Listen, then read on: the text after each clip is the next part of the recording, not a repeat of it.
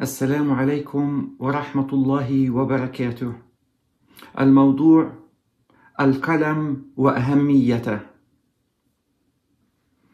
خلق الله عز وجل بيده أربعة أشياء وهما آدم والعرش والقلم وجنات عدن ثم قال لسائر الخلق كن فكان. خلق الله ثلاثة أقلام واحد القلم الأول. خلقه الله بيده وأمره أن يكتب مقادير كل شيء. إنه قلم من نور طوله ما بين السماء والأرض. أقسم الله بالقلم وذكره في كتابه.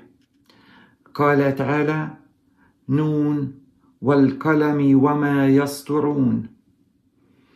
كتب الله به الذكر وأمره أن يكتب مقادير كل شيء. فكتب ما يكون إلى يوم القيامة. وحفظها في اللوح المحفوظ. وفي اللوح المحفوظ كل سنن الحياة. وماذا سيحدث في الكون منذ خلقه حتى نهايته. ومن حكم الكتاب في اللوح المحفوظ هو تعليم الخلق الكتاب والتدوين. فالخالق المتصف بصفات الكمال والجلال والمنزه عن الخطأ والنسيان قد كتب علمه ودونه. فالإنسان صاحب الخطأ والنسيان عليه بالكتابة. اثنين القلم الثاني. هو أقلام الملائكة الحفظة جعلها الله بأيديهم يكتب بها أعمال الإنسان. قال تعالى وإن عليكم لحافظين كراما كاتبين يعلمون ما تفعلون.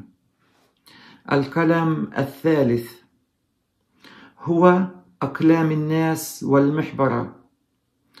جعلها الله بأيديهم ليكتبوا كلامهم والعلوم والمعرفة والأشياء المهمة.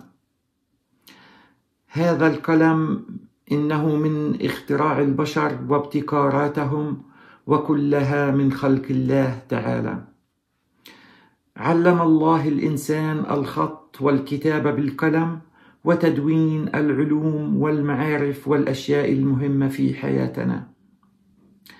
إن القراءة والكتابة دلالة على كرم الله وفضله. قال تعالى علم بالقلم. فجعل الله القلم وسيلة للعلم نكتب به ما هو مفيد من العلوم والمعرفة ونتقي الله ما نكتبه.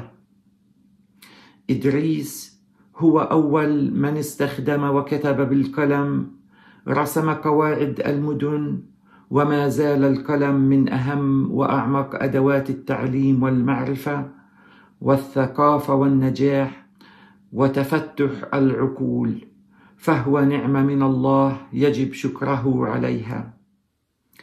فالإنسان بالقلم والكتابة يتفاهم مع غيره ويعرف أخبار الماضي وأحوالهم.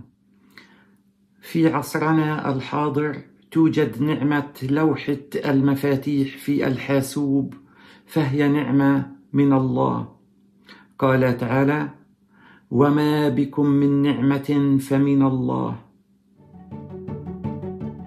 إذا أعجبك هذا الفيديو أعطيه like وإذا تحب مشاهدة فيديوهات أخرى اعمل لي follow وشكراً.